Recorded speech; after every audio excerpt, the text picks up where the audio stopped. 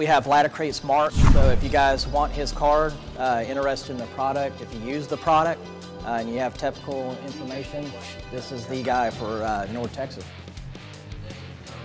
Then what Laticrete wanted us to do was to take the flashing mortar and wrap the stainless steel tray so that way uh, if any moisture gets up in there, it's not going to bleed out through the tile. It's also a good bond for the 254 thin set. Just easier to use and it works really well. So I'm just going to put a little on with my hand, my fingers. That's why I use a glove because it's epoxy.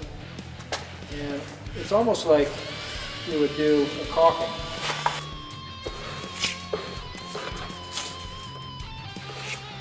And normally we would have all this measured out and calculated. You want to jump down and play with it? Think of a lift, can you bring that up?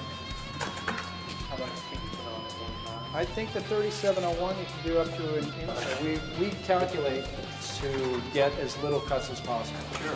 This is turned into a material that we use for almost everything.